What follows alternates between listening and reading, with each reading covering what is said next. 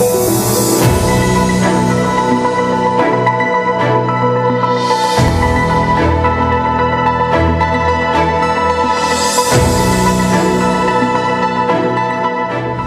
ලංකේ සංවර්ධනයේ නව දිශානතියට වෙනුවෙන් ව්‍යාපාරික ලෝකයෙන් ලැබෙන දායකත්වය විමසා බලන ITN ව්‍යාපාරික පුවත්.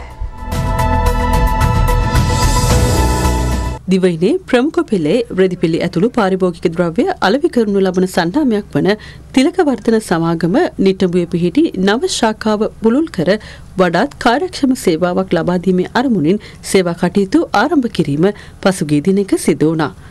තිලකවර්ධන සමාගම මගින් රෙදි පිළිවලට අමතරව ජංගම දුරකථන පාවහන් විද්‍යුත් භාණ්ඩද පාරිභෝගිකයින්ට ලබා ගැනීමේ පහසුකම් සපයා දී තිබෙනවා. තිලකවර්ධන සමාගමේ සභාපති WP රූපසිංහ මහතා ඇතුළු පිරිසක් එක්ව සිටියා. යතුරු පැදි ආනයනය තාවකාලිකව අත්හිටුවීම නිසා ඇතිවී ඇති ගැටලු පිළිබඳව දැනුවත් කිරීමට කොළඹ හා ගම්පහ දිස්ත්‍රික් නව යතුරු පැදි අලවිනියෝජිත සංගමය විසින් ජුලි මස විසි අට වන දින කොළඹ නිපොන් හෝට්ලේදී මාධ්‍ය හමුවක් පවත්වන ලදී. එහිදී ඔවුන් අනාවරණය කරනු ලැබුවේ රජය විසින් මේ වසරේ මාර්තු මාසයේ සිට යතුරුපැදි ආනයනය తాවකාලිකව අත්හිටුවා ඇති බවත් එය මුලින්ම මාස 3ක කාලයකට පමණක් වළංගු බව දන්වා තිබුණද කිසිදු දින නියමයකින් තොරව මෙම තහනම දීර්ඝ කර ඇති බවත්ය.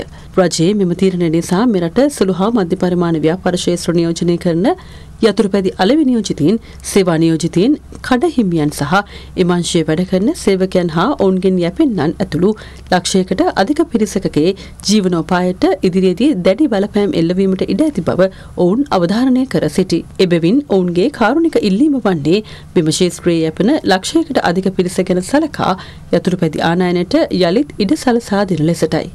මෙම මාධ්‍ය හමුවට කොළඹ හා ගම්පහ දිස්ත්‍රික්කයන්හි සියලුම යතුරුපැදි සන්නාම නාමයන් සහ සෑම අංශයකම අලි නියෝජිතීන් නියෝජනය කරමින් සියයකට අධික පිරිසක් එක්ව සිටි අතර සංගමේ සභාපති චමින්ද ප්‍රනාන්දු සමාජික චන්දික කනකරත්න ඇතුළු පිරිසක්ද එක්ව සිටියා.